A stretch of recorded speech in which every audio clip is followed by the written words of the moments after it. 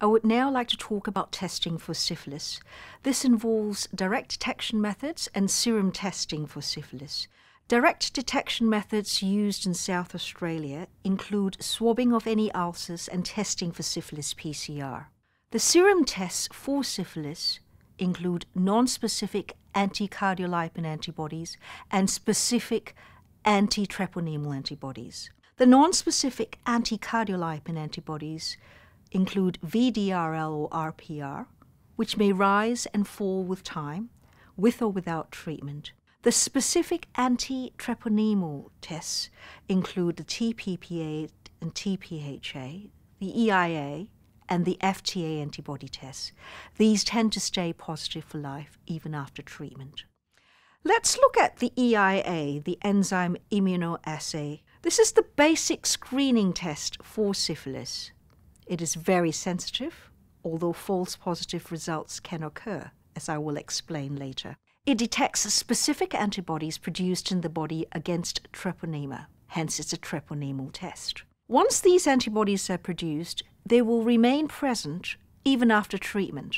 That is, once positive, always positive.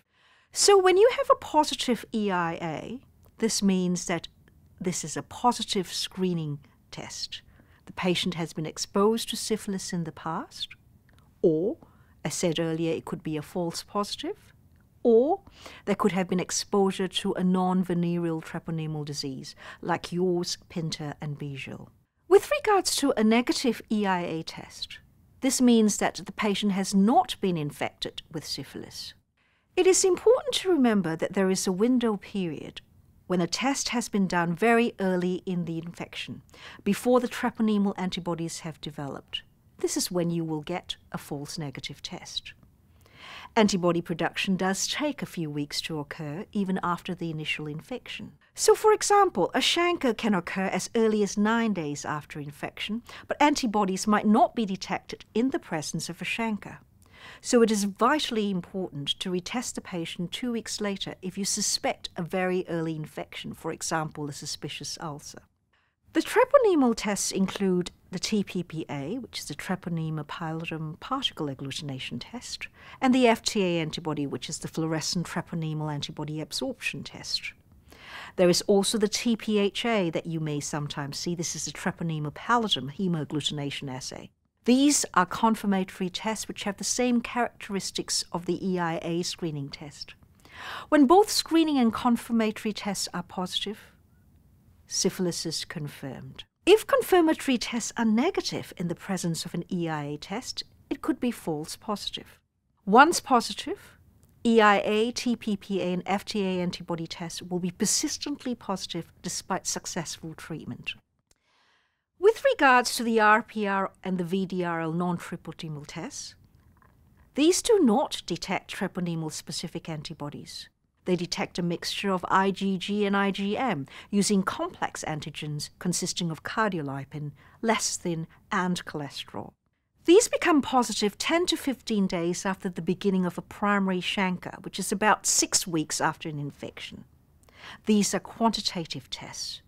Their titers indicate disease activity. The RPR test and the VDRL starts from non-reactive and as the disease progresses, the titer also rises. So, for example, the RPR could be a 1 in 1, 1 in 2, 1 in 4, 1 in 8, 1 in 16, and so on. The higher the disease activity, the higher the RPR titer is. The RPR and the VDRL titers drops after successful treatment and we need a fourfold drop or a two dilution drop to indicate successful treatment. For example, a drop from 1 in 64 to 1 in 16 indicates successful treatment. After successful treatment, the RPR and the VDRL naturally drops in the latent state without treatment. With reinfection, the RPR titers would start rising again, and a fourfold rise of the titer is significant whereas the EIA, TPPA, and FTA would remain reactive. As mentioned earlier, you can get false positive syphilis serology where the EIA or the screening test is reactive, the RPR is negative, and the confirmatory TPPA is negative. This occurs in less than 1% of the population. Acute situations usually occur under the age of 30 and is caused by acute febrile illness like EBV and viral hepatitis, vaccination, and pregnancy.